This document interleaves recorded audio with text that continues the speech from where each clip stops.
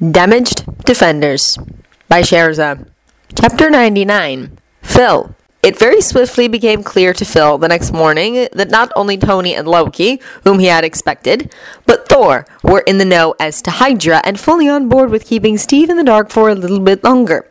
Long enough, hopefully, to have a day to unwind after the tour they'd been on. Phil figured this out because Tony herded everyone into the TV room, part of the common entertainment floor, literally three seconds after everyone was done eating, babbling about highlight reels the entire time. Thor and Loki both immediately joined in. Surprisingly, so did Steve and all four of them were at least grinning. Loki was actually snickering. Oh wait, all five of them were looking at least amused. Because even Soldier had a very Natasha-esque amused quirk of the lips going. Huh, maybe there was more to this than keeping Steve in the dark for a day. Phil had gotten the unedited files last night, but he hadn't had time to do anything about them, given everything else that had been going on and the hour at which the group had returned. He'd planned on watching at least some of the files today.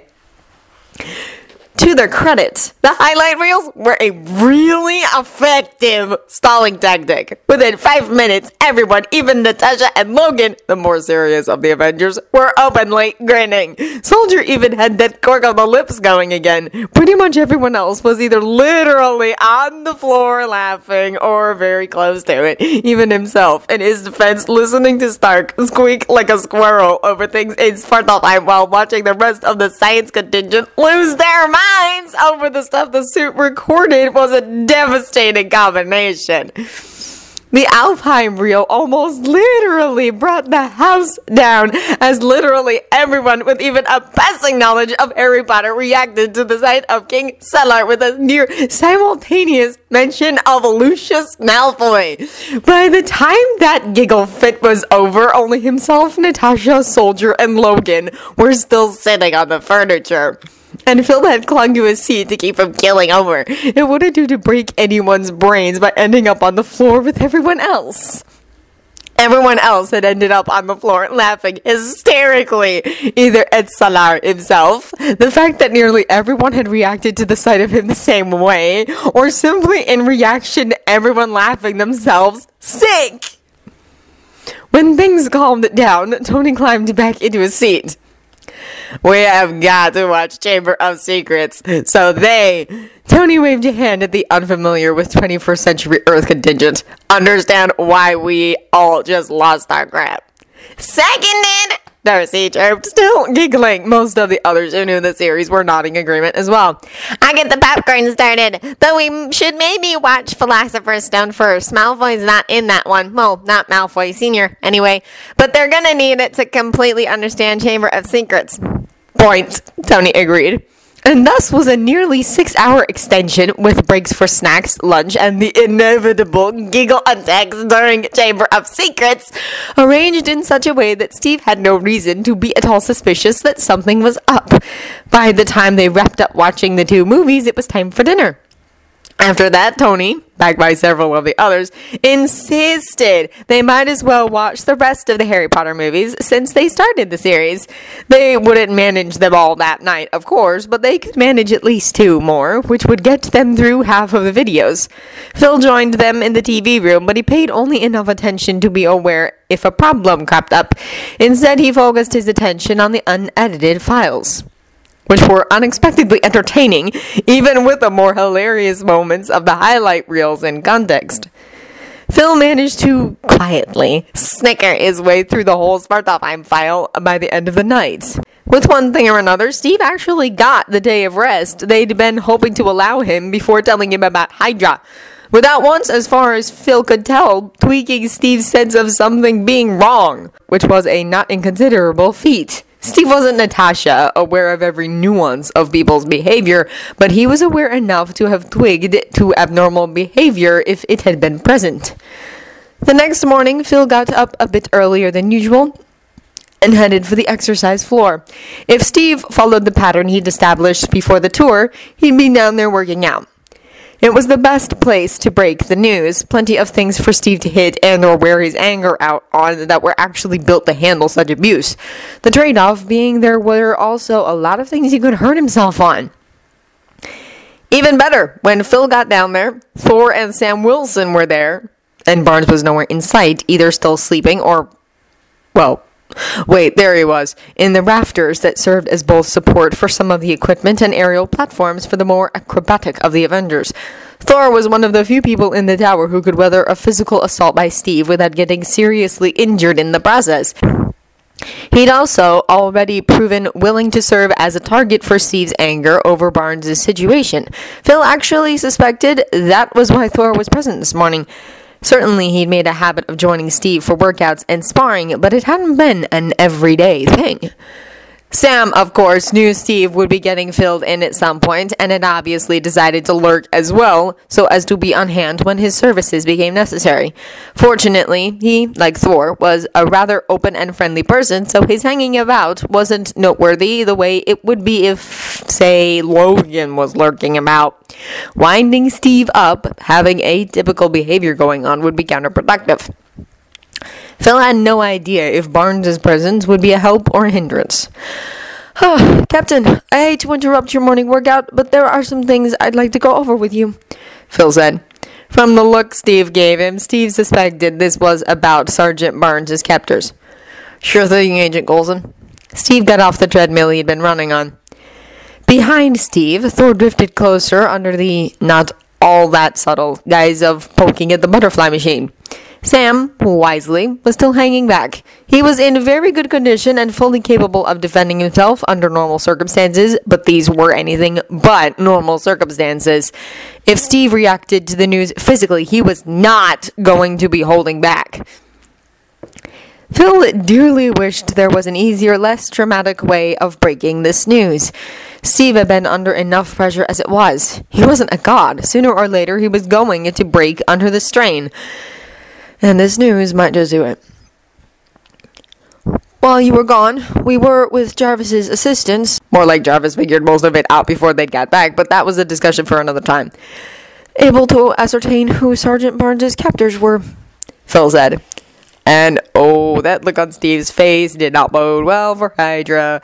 Not that they were ever going to have an easy time of it, but Barnes had always been Steve's soft spot. Steve would always have tried to wipe them out after discovering they were still around. That they were responsible for Barnes's condition was just fuel on the fire. Jet fuel! With a napalm chaser! Speaking of Barnes, he abruptly dropped down out of the rafters, but did so so quietly, Phil wasn't sure Steve knew he moved. He didn't come closer to the group, however. As there was simply no easy way to break the news, Phil for once just blurted it out, not making Steve ask before he got his answer. It was Hydra, Phil said. For one long moment, there was complete silence.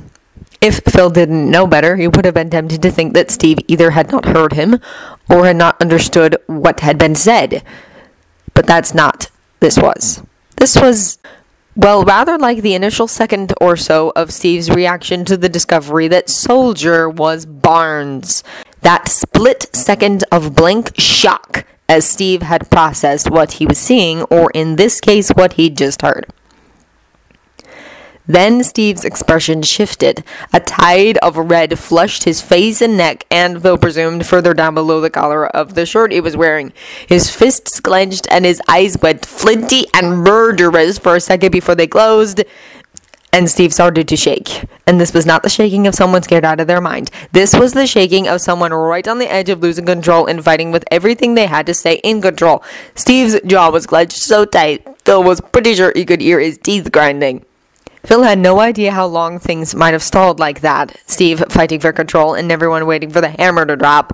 He never got a chance to find out because between one breath and the next, Barnes was there, giving Phil a look that was somewhere between outrage, defiance, and fear, and putting himself between Phil and Steve like he thought Phil was going to physically attack Steve. Given what Barnes had likely been through, well, it was extremely probable that any emotional outbursts on his behalf had resulted in severe punishment. Phil was quite sure that Barnes wasn't to the point where he didn't automatically assume the worst of everyone around him. Whether it was suddenly having Barnes that close, even though with his eyes closed, Steve couldn't see him, or Steve merely reaching the end of his endurance. Well, Steve exploded, verbally and physically. The verbal Well, Steve descended into Gaelic. Given that while it was well known Steve was the son of Irish immigrants, he'd never been known to speak the language, at least not in public. Not a good sign. As for the physical, well, Steve gave him credit where it was due. He got away from people, or tried to. Unfortunately, his first choice of target was one of the weight machines calibrated for super strength, something Steve could do a lot of damage to himself by attacking. So, of course, Thor intervened, moving fast enough, it was pretty much literally blink and miss it territory. The first time the two of them had done this, Steve hadn't exactly been truly fighting, mostly just flailing around as he gave vent to his rage. This time started the same way. Unfortunately, Soldier didn't seem to get that this wasn't the two men attacking each other in earnest, and he went to Steve's defense. On the one hand, good to see. On the other, well, it took all of about 10 seconds for things to get way out of hand and very confusing. Soldier was trying to defend Steve, which meant tangling with Thor. Steve, already on the warpath anyway, took exception to seeing Bucky trying to go toe to toe with Thor and tried to get between them, this time in earnest. At which point things became rather difficult to keep track of. Phil was just grateful Steve's shield and Thor's hammer weren't down here, or this could easily have gotten much, much, much worse.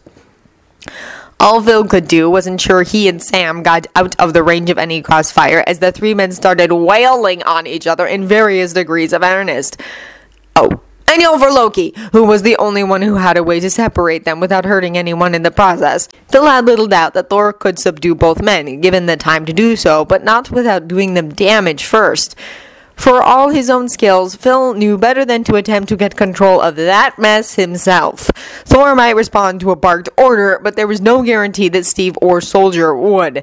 If he had been in his right mind, Steve definitely would have, but right this moment it was anyone's guess whether or not Steve would respond. And getting involved physically was the height of idiocy. Phil knew he was good, but he wasn't good enough to manage two super soldiers and an Asgardian. Jarvis, tell Loki what's happening and get him down here. Phil barked. Jarvis didn't bother responding audibly. His response came in the form of Loki teleporting into the room less than 10 seconds after the request was out of Phil's mouth. Well, I could see why you requested my assistance, Loki said in the sort of dry tone that indicated rather large amounts of sarcasm. Well, first things first, let's get the wild card out of the equation. Green gold tentacles sprang up from the floor near the brawling triad and snagged Barnes, pulling him away from the fight and restraining him from rejoining it. Once he was far enough away, Loki walked over. That, Loki said, pointing at the two still fighting it out, is not a legitimate attack. Steve was upset. Thor did not wish him to hurt himself by punching. Loki waved a hand at all the hard metal items in the room. Most of that. So he presented himself as a target. Barnes didn't look like he was buying what Loki was selling, which was its own bizarre brand of encouraging that Barnes was willing to show that sort of expression. His memory wasn't back yet, as far as Phil knew, but his personality was recovering by leaps and bounds, comparatively speaking. Meanwhile, with Soldier out of the equation, Thor finally managed to pin Steve to the floor, who was still ranting in Gaelic. Phil was actually kind of glad he didn't know that language because he had a feeling that Steve was cussing a blue streak and then some, along with whatever else he was saying. And despite being rather thoroughly pinned, Steve was still trying to get out of Thor's grasp. He wasn't getting much of anywhere, thank goodness for Asgardian strength, but he was trying his hardest. And just like last time, in between one breath and the next, Steve's rage collapsed in on itself and gave way to something else. This time, though, there were no tears. Just a very worrying, hollow eyed silence. Thor cautiously let Steve up, and after a moment, Steve wordlessly got to his feet and headed for the door to the stairwell, head bowed, shoulders slumped, and still silent. Do not let him out of the building without at least one of the team, Jarvis under any circumstances, Phil said. Steve hadn't looked like he wanted to go to war right the second, but that could change all too quickly. That, Sam said, speaking up for the first time and motioning toward the stairs where Steve had disappeared, is my cue. And he headed for the stairs as well. Phil eyed Thor and Loki. Thank you both for your assistance with this.